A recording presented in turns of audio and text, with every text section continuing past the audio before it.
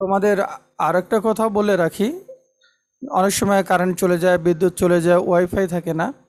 তো এই পরীক্ষা দিতে তো তোমাদের মানে হয়তো বা সর্বোচ্চ ফাইভ এমবি থেকে টেন এমবি লাগবে।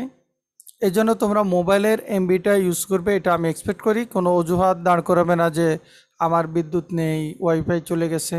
তোমরা জাস্ট মোবাইলের নেটটা ইউজ করো, শুধু এই সময়ের জন্য এমসিকিউর জন্য।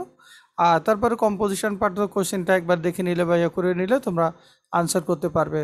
অন্তত এমসিকিউর জন্য তোমরা এমন নেট ইউজ করে চাই যেমন হয়তো মোবাইলের নেট ইউজ করলে, যাতে এইরকম না করতে পারো যে আমার কারেন্ট চলে গেছে। আশা করি তোমরা কথাগুলো জেনে নিছো। থ্যাংক ইউ আসসালামু আলাইকুম রহমতুল্লাহ।